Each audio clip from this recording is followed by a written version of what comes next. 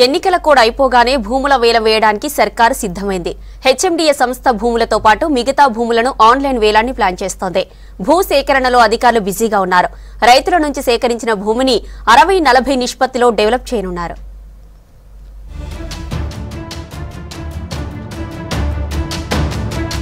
రాష్ట్ర ప్రభుత్వం భూముల వేలానికి సిద్ధమైంది. గత ప్రభుత్వం తరహాలోనే హెచ్ఎండిఏతో భూములను ఆన్లైన్లో వేలం వేయాలని భావిస్తోంది.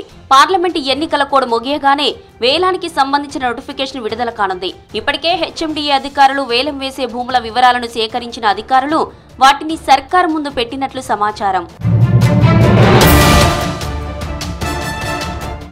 సంక్షేమ పథకాల అమలు రాష్ట్రాభివృద్ధి కోసం భూములు వేలం వేయక తప్పడం లేదంటున్నారు ప్రభుత్వ పెద్దలు. గత ప్రభుత్వం చేసిన అప్పులకు ఖజానా ఖాళీ కావడంతో భూములను అమ్మడమే మార్గం అంటున్నారు.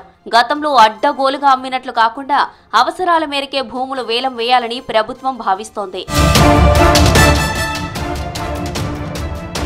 గతంలో ఉప్పల్ భగాయత్ కోకాపేట్ కానామెట్ బుద్వేల్ మోకిలాతో పాటు సిటీ శివారు ప్రాంతాలు పలు జిల్లాల్లో భూముల అమ్మకాలతో గత సర్కార్ ఇరవై వేల కోట్ల వరకు ఆదాయం సేకరించింది. కొన్ని చోట్ల వేలంలో అమ్ముడవని భూములు కూడా ఉన్నాయి. వాటి వివరాలను హెచ్ఎండిఏ సేకరించింది.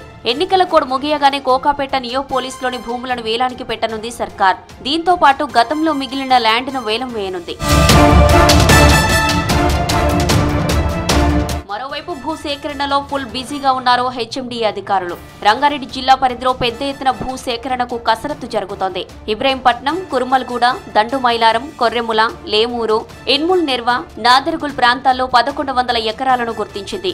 ఆ చుట్టుపక్కల ప్రాంతాల రైతుల నుంచి మరో పన్నెండు వందల ఎకరాలను సేకరించే పనిలో ఉన్నారు అధికారులు. రైతులకు అరవై శాతం హెచ్ఎండిఏకు నలభై శాతం వాటాతో లేఅవుట్లు డెవలప్మెంట్ చేయనున్నారు. ఇప్పటికే వెయ్యి మందికి పైగా రైతులు భూములు ఇవ్వడానికి ముందుకొచ్చినట్లు సమాచారం. కీసరలో నూట డెబ్బై ఎకరాలు ప్రతాప సింగారంలో రెండు వందల యాభై ఎకరాల్లో హెచ్ఎండిఏ లేఅవుట్ వేసే పనిలో ఉన్నారు అధికారులు. ఎన్నికల కోడ్ ముగిసిన వెంటనే హెచ్ఎండిఏ భూముల వేలానికి సంబంధించిన నోటిఫికేషన్ రానుంది. ముందు నుంచే భూముల వేలం పనుల్లో బిజీగా ఉన్నారు అధికారులు.